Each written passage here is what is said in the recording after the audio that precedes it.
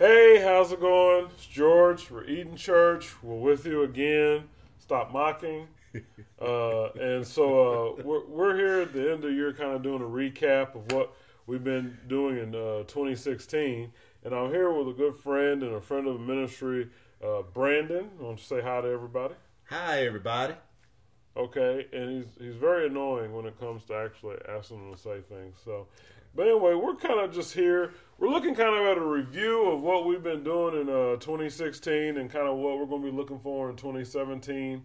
Uh, uh, this is the first year that uh, Eden has actually uh, moved forward, and so we, we we've done a lot of teaching.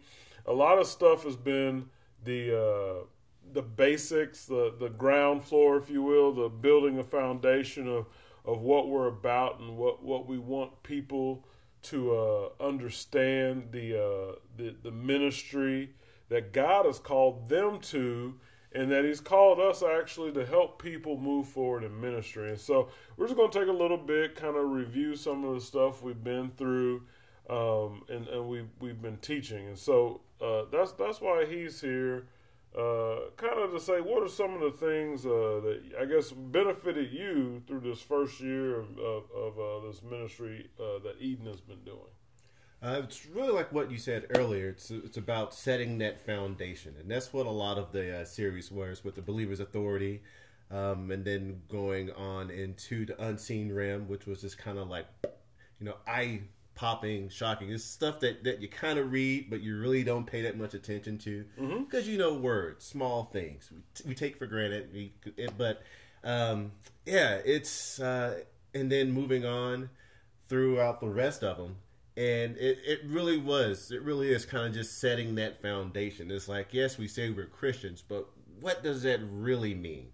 You know, uh, and how do we apply that to to our lives as we move forward?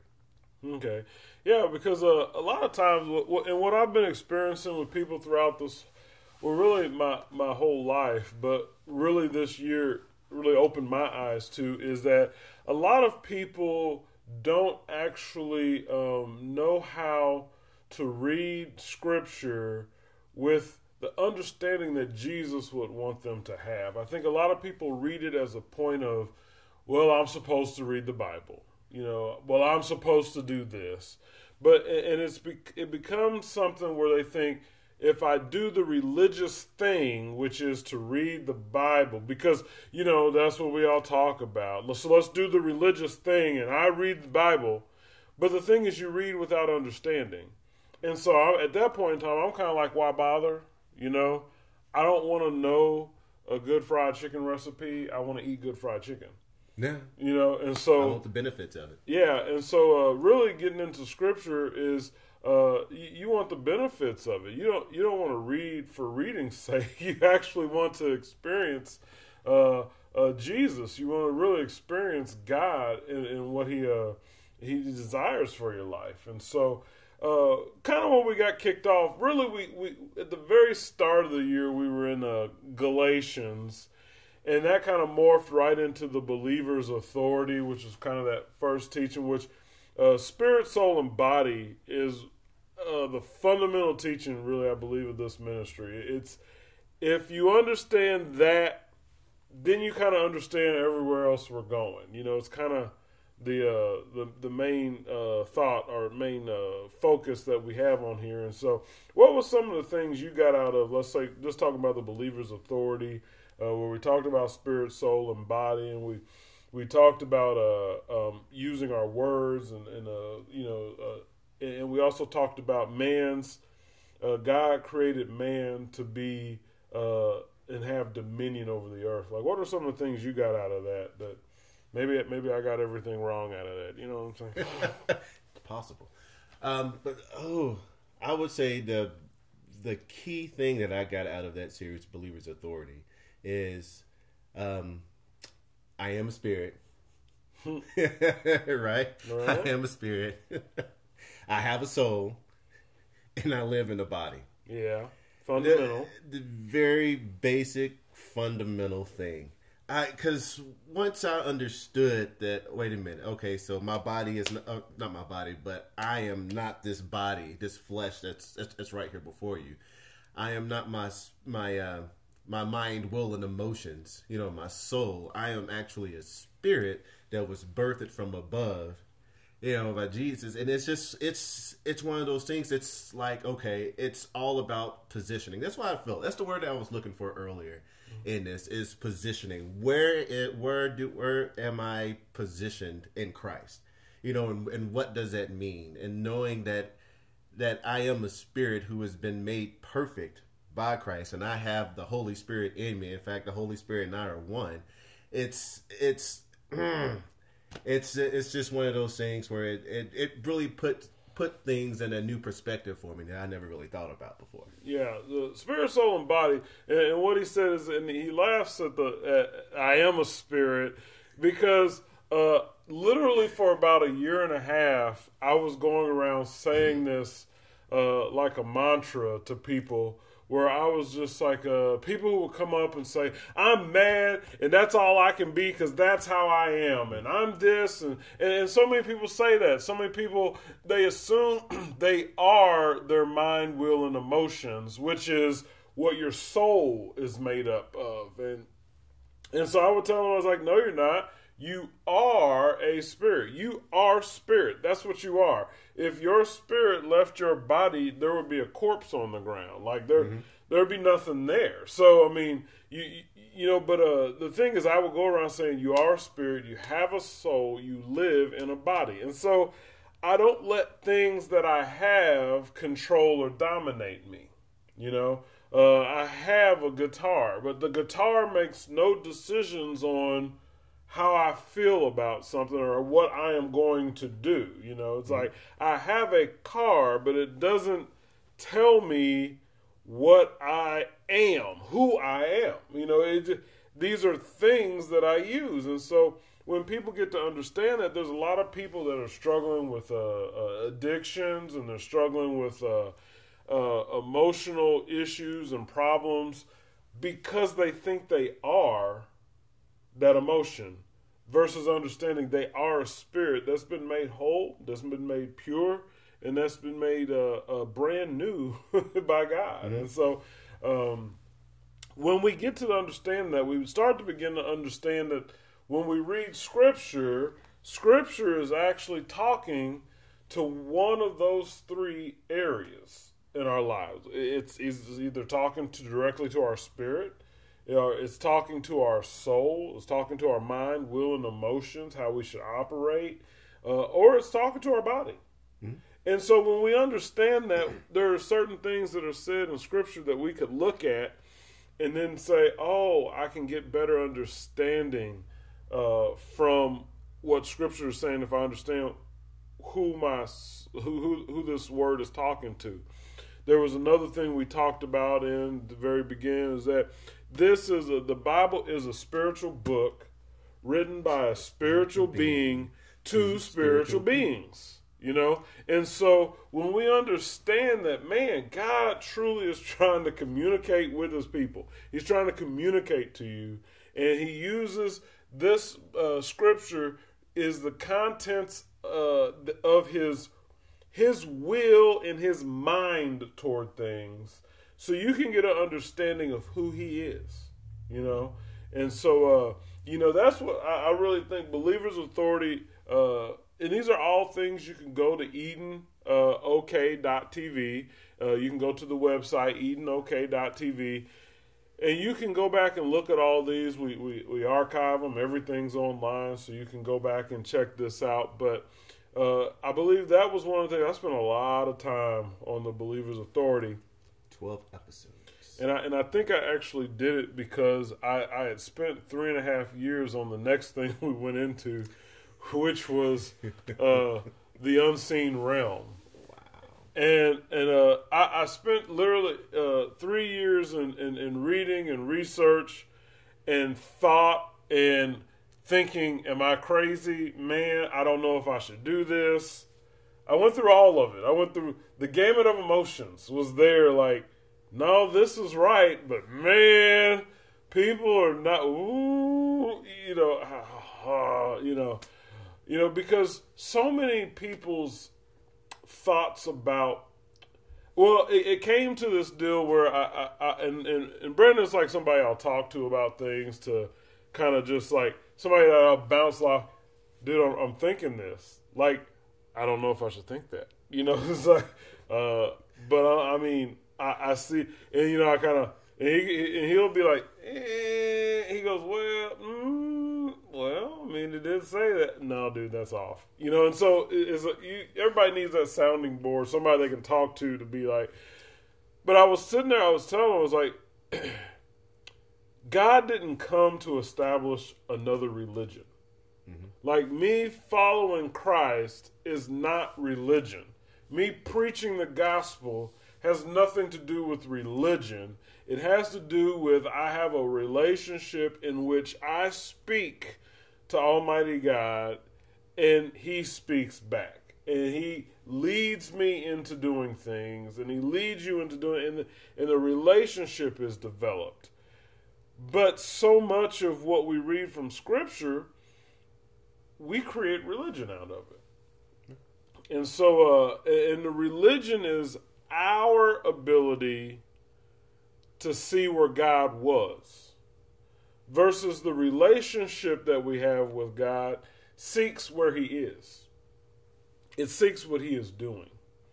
And so, uh, in the unseen realm, uh, I, I basically reset what many people have thought this is how things operated, mm-hmm. you know, and, and, this is how the Bible works.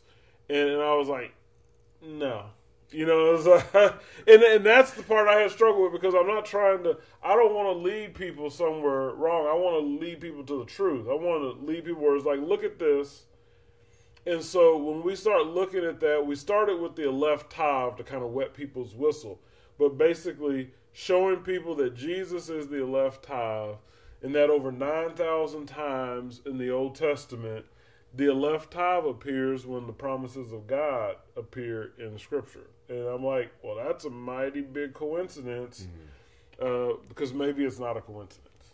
You know? so I don't know. Talk. You got to talk. Say, say something about anything at this point in time. About anything at this point in time? Yeah, well, I mean, you were on a roll. I was gonna let you go. Um, but yeah, Unseen Aleph Tav. That one, I'm I'm still I'm still chewing the cud on that one. I think out of all of this, all of the um, I, the episodes, sermons out of Unseen Realm, the left half is still one of those where I'm just kind of like, mm, yeah, that makes. I'm, I'm still you know kind of like putting things together. Um, as far as that, maybe because I don't have the Hebrew placemat reader thing that. It, People the, mock me about the Hebrew placemat. But I'm going to learn Hebrew better because food is involved.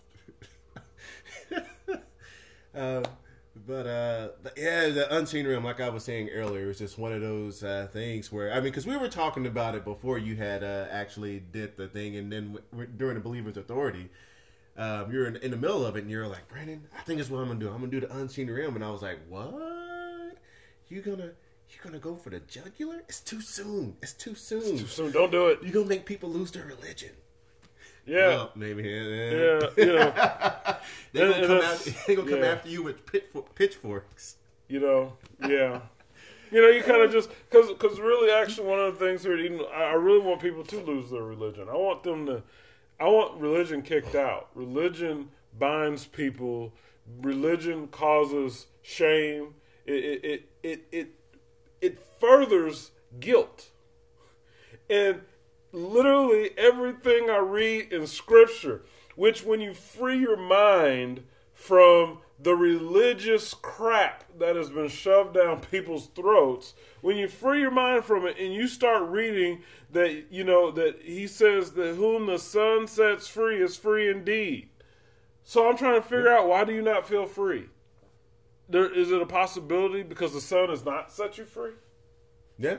You know, I was like when when I read that that that it was God in Christ. In other words, it was the Father in the Son reconciling the world, not counting their sins against them. Second Corinthians five, I think around seventeen. But my point is, is that clearly right there, the Father is not counting your sins against you. But what does every church preach? You're a sinner. Sin Your wife's a sinner. Your kids fornicate and sell dope. You know, what I mean, it's just it's they they preach sin. They make they make the good news. I'm kind of moving forward then into like paid. Okay, I like they make the good news about sin. And it's not about sin. It's about the fact that God is truly anointing you with Himself. He's rubbing and smearing into you Himself, and you're free from sin. He's not counting your sin against you. But, well, no, the more you think about your sin, the more you realize God is good. No. Yeah, it's- that, that just doesn't work. No, and, and, and the thing is, he, he said, he goes, "You are the righteousness of God in in Him in Christ." I was like, the Father's not mad. No. Religion will tell you the Father's mad. You didn't you didn't kneel the right way. You didn't you didn't pray the rosary long enough. You didn't uh, you you didn't read the right version of the Bible. You didn't there's all these things that it's just like they want to heap guilt and shame on you when God's like, no, I want you to live in me because I've got better things for you. I got better things for you. In Christ. It's it's it's it's one of those things where it's oh it just makes it seem so people make it seem so difficult to be a Christian. Or people make it seem so difficult to follow after Christ. Or people make it seem so difficult to have that relationship with Christ. It's uh when, when you think about it, and that's this coming on the heels of the unseen realm. Um, with, with this one, I thought this one was just like, wow, okay, he's George has really hit his stride with this one because I don't know if it was because you did all the laid all the groundwork with Believers Authority and then Unseen Realm was kind of like that bird's eye view, kind of tying everything together. But with this paid business, it was you have to realize that yes, Jesus came and he had to deal with the sin, but the sin is not the reason why Jesus came. Say that one more time. no, that because that's the thing people need to hear. Well, say yes, the sin had to be dealt with, Yes, but that is not the reason he came. That is not the reason he came.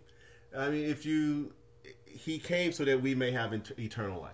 John three sixteen whatnot, and then in John seventeen, I believe it's verse three, he defines what eternal life is, so that you may know the Father and the one whom He sent. So it was the relationship, that same walk that the same walk that Abraham had with with God physically that's what god in fact he did it he did one better he put jesus on the inside of us the holy spirit is on the inside of us. So it, it's man this is it's just incredible. It's and, and this is what the paid did. It just it just blew my mind and that's where i'm at right, right now with this. You know, and I had people uh, um, um, writing in when when paid came along because I, I was I was literally the scripture will define scripture. That is the one thing that I've, I've been through, and that's the, and, that, and that's the thing that people they I think sometimes they get mad at me about. Also, people who want to hold on to the religion because I'm not really you, you know they're they're coming up with some ideals that don't have anything to do with the, the scripture, mm-hmm. and I'm like, well, no, scripture will define scripture. I had people one I had a lady tell me one time that you know we'll, we can't understand what God is is wanting or doing. And I and I think we were we were reading in Corinthians. I think it was uh, Corinthians chapter two, First Corinthians chapter two. And I was like, we can't understand. We can't understand. I go, okay, read the next verse. I go read one more verse, and it says this but he has revealed them to us by his spirit. I was like, so you're supposed to be the one of the leaders in this church and you were about to tell everybody we can't know these things and literally scripture tells you in the very you stopped one verse too short. yeah And so that's what happens with a lot of people. We stop one verse too short. And with paid, I, I, I set out to show people that that uh, this was about Jesus and the God the Father, Yahweh. This was about him fulfilling a promise that really started in the garden after uh, just after the mm-hmm. garden. He he spoke the word of prophecy, but really Jesus coming was really about fulfilling the promise to Abraham. Jesus made Abraham a prom- promise in, in, in uh, uh, Genesis 12 and Genesis 15, especially where the covenant was actually cut. Mm-hmm. Um, and it was about covenant, and it was about a cut covenant that, that, that God said, I can't swear by anything greater because I am the greatest. I mean, you know, and that sounds like arrogant to like humans. I, I am the greatest. Nope, you're not the goat. You know, God, God, God gets God gets the glory on this one. So he's like, I can't swear by anything greater to kind of show you that I would do this. So I'll swear by myself. I will I will make a covenant with my own self that this happens. So that by two immutable things it tells us in Hebrews, two immutable means two unchanging things. Mm-hmm. So by these two unchanging things, they, they they neither change you know that if they agree, then it's got to happen. Yeah. You know, uh, because we don't change. And so, uh, Pay was sent to show that if if the gospel tells us in Galatians was preached beforehand to Abraham. Well, Abraham didn't get any talk. There's nowhere about talk of sin to Abraham. Yeah. So, what gospel did he hear? Because we were told he heard the gospel. You know, yeah. So so it would seem to me that if they're going to come back later in Galatians and talk about Abraham hearing the gospel, uh, God maybe would show that to us. Like that wouldn't be like something that was left out of Scripture. Yeah, you know. And so uh, when we look at what was actually preached to Abraham, it was only good. It was only prospering. It was only I'm going to make you great. I'm going to make you. I'm going to make you the father of many nations. I'm going to. I, I'm going to be with you. He only spoke good things to him, which is amazing because gospel literally means good news. Good news. Good news. You know, too good to be true news. You know what I'm saying? Gospel is not you're a sinner and you're an idiot and you should just be happy that I even look at you. But I'm not really going to look at you. But I forgive you. But I barely forgive you. That's not good news, people. and that's what people have been trying to preach to people is that, you know, you're a sinner and you're a whore and you're awful and you need to come into the church and I'm going to continue to call you in the church a whore and a sinner and an awful person and you just better take it until you die so that way you can get into heaven. It's that it's not the gospel. That ain't it. The gospel is good news. It's good news the Father does not count your sin against you. And that's, once again, we then found out that the reason he doesn't count your sin against you is because he wants better for you. And he's wanting to restore you the things which you lost. And the thing that most people don't understand is what did we lose? I, am gonna ask you now. This is off the cuff. What did what did we lose? What did what Ooh. did Jesus come to restore? It says He comes to restore those things which were lost. What was actually lost? Our authority here on this earth. Oh my goodness! Our authority here in this earth. Yeah. When when you understand, that's what God came to restore. He came to, he said to Adam, well, he didn't even say it to Adam. He said it to his divine council. Let us give man dominion, complete control mm-hmm. of the fish of the sea, birds of the air, anything that creeps upon the earth, everything in the earth. Man gave that away foolishly, but mm-hmm. gave it away.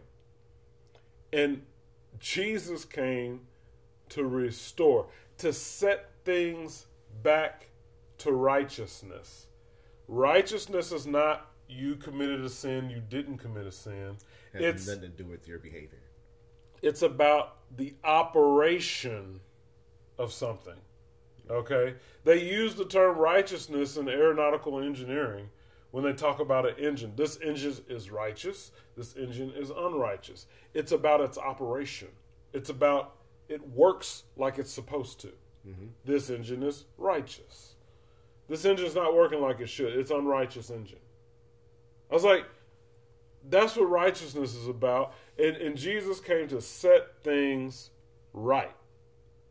Right is you having authority in this earth.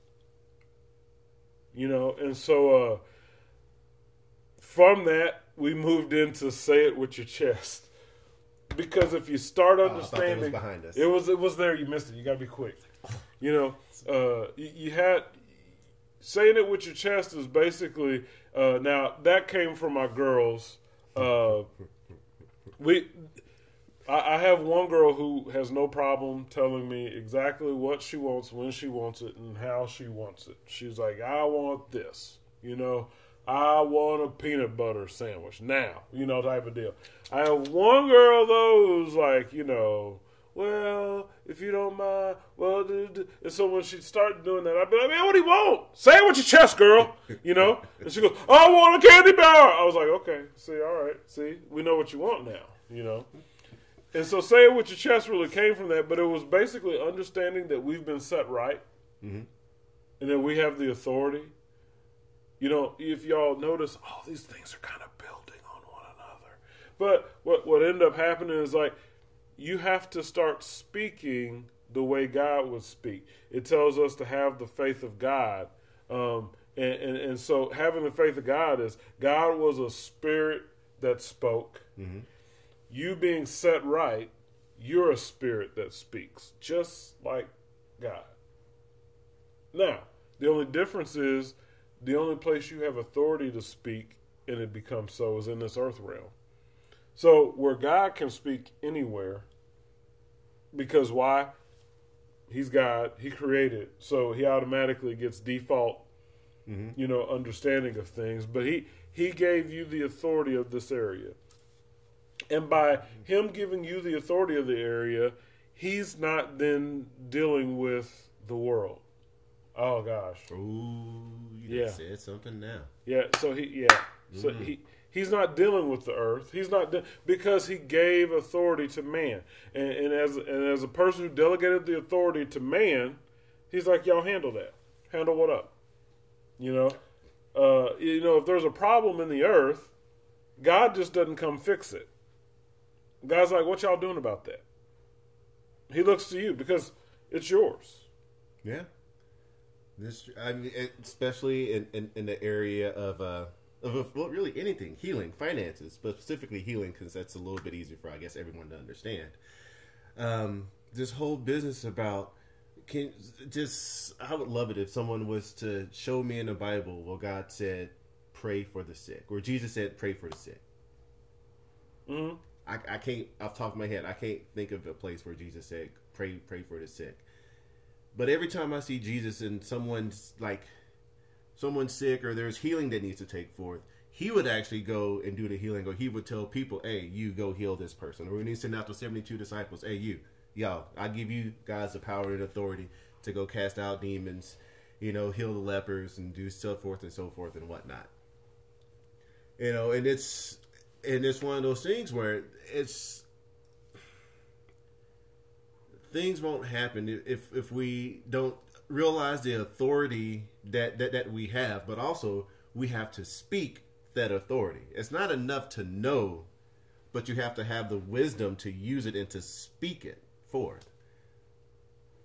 So, speaking that authority forth, that's why was saying say it with your chest. Basically, use what you understand, and that's where scripture comes in. That's where reading God's word comes in because the words that don't fail are his words.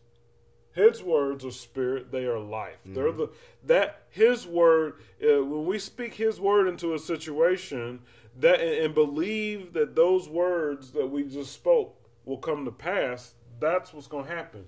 Uh, uh, I am going to clarify a little something what he just said about yeah. There there is a couple scriptures where it, it talks about praying pr- pray for the sick. in that, you know, I'm thinking of James in, in, in particular where it talks about the prayer of faith will save the sick and that whole deal like that.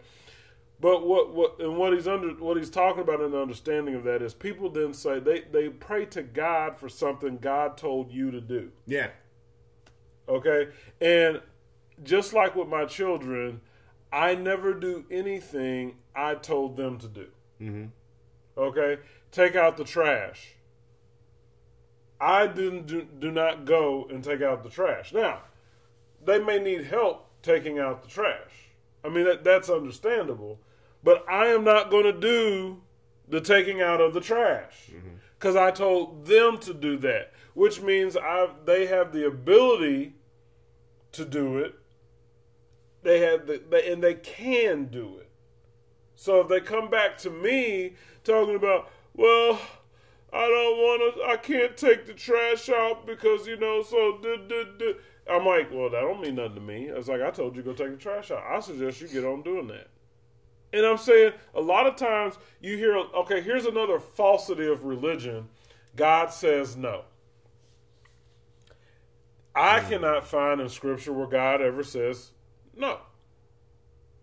God says all his promises are yes and amen. Like, he doesn't say no, you just asked for the wrong stuff. Whoa. You you ask him to do something that he's sitting there saying, um, you have the ability to do that. And I use the example of my youngest loving to cook shrimp uh, in, in those things where I talked about, Yeah, that was good. and I told her at the point where I was sure that she knew what she was doing, I said, okay, anytime you want this, you just come on and make yourself some shrimp. So when she came to my chair that one day, hey dad, can I make some shrimp? Hey dad, can I make some shrimp? And I didn't respond to her. And then uh, uh, I was asked, how come you're not responding to her? She said, duh, duh, duh. I was like, that's how God is working with many of the people. Y'all are praying things, and He's like, I've already given you authority to do. So go do. You're you you're not waiting on God. God already gave. Mm-hmm. You're not waiting on God to save your family or save that member of your family. He's already saved him. The work on the cross, he's not going back to the cross again. No. Now, you may need to pray for uh, laborers to come across the path. He told you to pray for that. But when you, I'm telling you, when you pray certain things, and then y'all say, well, religion will tell you, well, God knew the intent of my heart. He knew what I meant. I was like, that's not what he's not working off the intent of your heart. He's working off what you said. And if you were to say, God, send some laborers across that person so they can get saved. Oh, that's a different prayer than God saved that person. God's like, I already saved that person. If they choose to accept Jesus. You know, and so we have to get the, those understandings of that. And, uh, you know, finally, one of the things we kind of went through uh, toward the end of this year God or mammon? Whom will you trust? And really, what, man, I'm going to tell you this year, uh, you know, like we just, I started this ministry on faith. That That's word. Okay.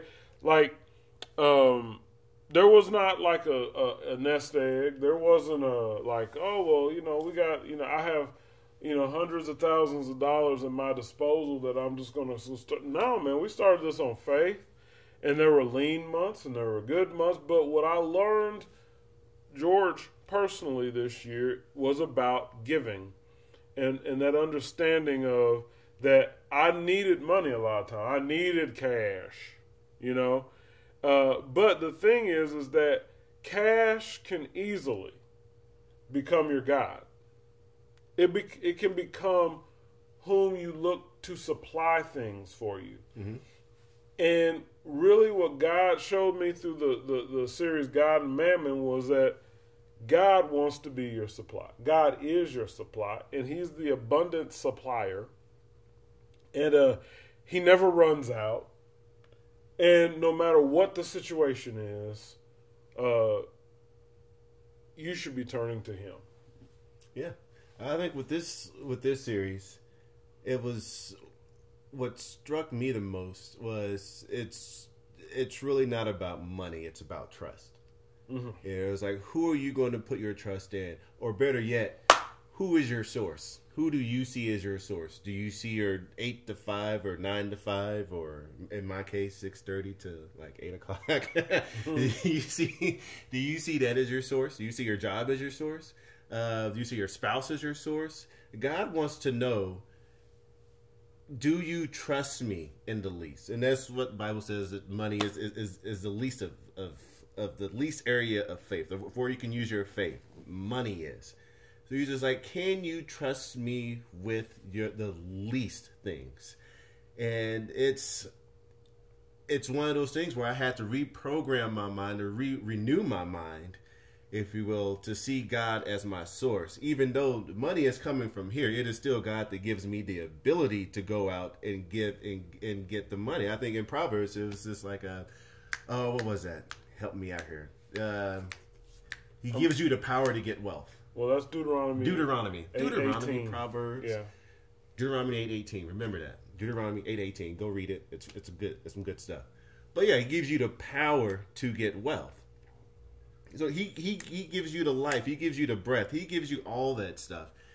To you have the power to get wealth, but it's like it's like George said earlier. It's very easy to see that wealth or see that money as that source and forget about God.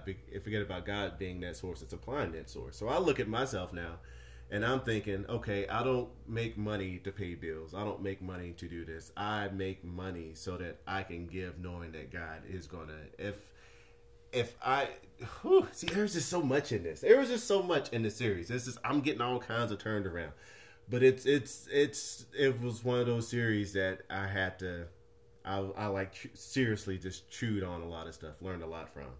Yeah, you know, and so you know, I sit there and, and we talk about. uh uh, I, I, have this thing where I'm talking about I, I I basically live on my giving. And uh, and admittedly, even my wife was kind of like you know a little tripped out by that statement because it's like you you can't you can't just give everything away. You just can't give and get. You know, I was like, yeah. I go, no, I no, I can because I I am reestablishing what my source is, mm. and when you start to see uh, your life as you know, this has come to me as seed to like plant like if if if you're sitting there and you got uh um let's say wheat, you can do a lot of things with wheat. You can take a wheat kernel and you can ground it down and then you can make flour so you can make bread, right? Or you can take that same seed and go out and then plant it in the ground. Okay, you know, mm-hmm. um, and so the thing is, is you can eat your seed, or you can use the seed you have to plant to grow more seed. Okay? And God does not matter if you have some of that seed you eat and some of that seed you plant. But the but in the measure that you give, that's that's the measure you're going to receive in. Mm-hmm. So if you only go out and plant an acre of, of a wheat, you're only going to get an acre's worth of return. Whereas if you go plant 10 acres of wheat, then you'll get 10 acres of return. You know, uh, that's a lot of return. And so the thing is with God and Mammon, what we went and looked at through there is that you know you actually live by your giving.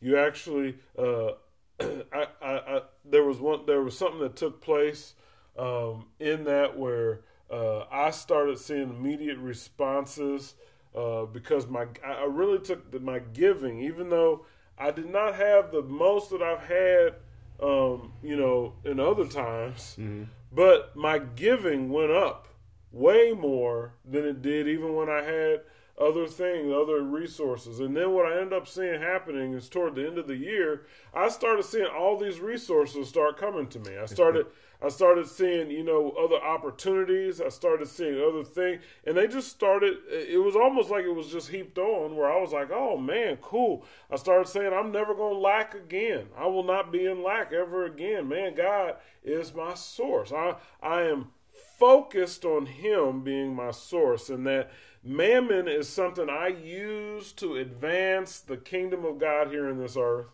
It's not something that I rely on in order to uh, make it. Yeah. I, I make it, and I because because God doesn't call me to make it. He doesn't call you to make it. He calls us to be more than abundantly supplied in Him. So He calls He calls for the excess and the overflow. Religion will tell you that uh, you know being poor that's godly. No, that ain't. I go, I, I and it'd be, it's awesome when I just go through scripture. When I went through now, what you're probably thinking about in Proverbs, when we went through and I talked about wisdom, and I says, wisdom is like, dude, if you have me, I will cause you to inherit wealth. Now that's very uh, forceful of wisdom. You, if, if if I have wisdom, wisdom says I'm going to cause you to inherit wealth. I am going to put money in your treasuries. Mm-hmm. The you sure are arrogant, wisdom, trying to force money on me. I'm trying to be poor and religious. No, well, that's why I ain't trying to be religious. You know, I'm trying to get the gospel out, and and that takes cash money. You know, uh, and so I, you know, I'm explaining to people that giving is something. When you want to do the minimum, that's what your return is going to be. But I'm wanting your heart to. I, uh, there's something that when you start to see the benefits of being generous, okay, the generous soul waters, and in turn is watered, is what Scripture says. And so when you start to see that you can be a generous soul, you're going to start to see God start to water your life like never before. He's going to send the former and the latter rains all at the same time just to get your harvest to you and, and, and, and, and increase you. So uh, that's what we've been basically doing in, in 2016, and I'm looking forward to 2017 because Yeah. I'm wanting to take some stuff a lot deeper. Uh, some of the stuff, you know, I went through and I had some prayer time, and I, you know, I was kind of going through and, and looking at uh, where I want to go and what I'm wanting Eden to do as we move into the second years. Uh, this next year, I at least want to have what I call four seminars. Uh, we're going to uh, take a like a Saturday, uh, uh, and we're going to have where we're going to have a get together. You know, the, the first one is probably going to be sometime uh, in April. I want to be able to have a get together. Uh, probably uh, we'll you know probably meet in a hotel uh, someplace. Uh, you know, like in the conference rooms and stuff like that. And uh, we're just gonna get together. We're gonna worship together, and then we're just gonna you know grow grow in the Word together. Um, and then uh, we're gonna do that a couple times. I want to by July uh, um, start to meet maybe on a monthly basis. Still doing those uh, quarterly seminars uh, where we kind of get together, but I want us to start. Uh, uh, I guess you know, um, coming together and learning together the Word. You know, uh, even though the ministry is called literally Eden Church, it's not that I'm trying to start a church in the respective form of what you see as a brick and mortar on the corner. What I'm wanting is I'm wanting a group. It really, we're looking at church as it's an assembly. It's a group of believers that we're coming together and we're learning the Word of God.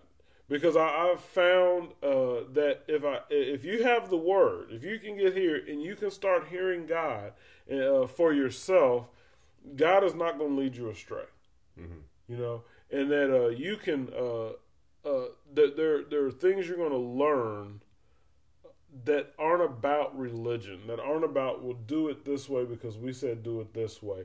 Uh, now you can talk to now. Brandon's been around for a minute, you know, uh, and I mean, have I? Have I done? I mean, I just always want to make sure. And now this is me putting him on the spot again. I don't think I've ever like said this is what you got to do. I, I, I think I've tried to just put out the word to you, like like here here's what this is what the scripture says. And have I forced you to ever get into the Bible? Have I forced you to open up your book and say, "No, read like no"? Oh no, you ain't. No, no, you haven't done. It. No, no. He's You know? no, he's never done that. You know, I, I, I've just tried to say this is where the answers are. You, you want to find that answer out, this is where you can go look. And that's what we want for anybody else is we want God to grab hold of you, God to grab your ear, and you move forward in Him. Yeah. You know, and, and, and so in 2017, we want to see God, you move forward in Him. one of the first uh, series uh, that we're going to do. Uh, I know I told you, but I'm forgetting right now which one it was. But no, it's the songs. Like, how could you forget that one? no, it's not. I just, but it was. It's called the songs. Uh, I, Talking it- about this for two months. I know. Well, I'm talking about the songs of the Bible, but I'm really not going to do all the songs of the Bible because I, I God really kind of. I was like, there's once again, there's so it's so rich. It's like when you really get into the Word and you really start to see, like, oh my goodness, the breakdown. There isn't one. It's just you just got to do this.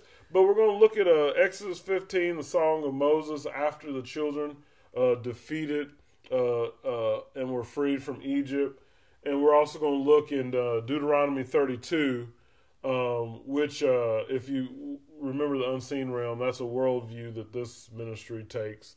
But Deuteronomy 32 is another song of Moses that was actually meant to be a witness against the uh, children of Israel as they went forward, as they were in the land.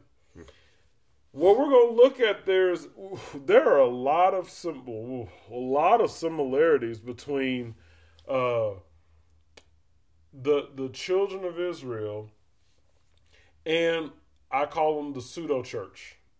There's there's a lot of there's a lot of uh, similarities. There's a lot of things that man have they if they would actually just listen to the word of God and just done things the way the word said do it. Um, there's a lot of problems that they're having right now that they wouldn't have Mm-hmm. you know.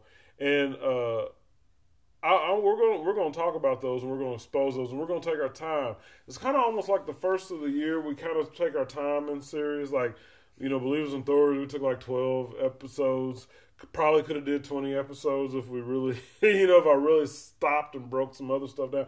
But we're going to take our time in that, and then from there we're going to move to a series called Pray the Word, because what I've found is a lot of people really don't know how to pray.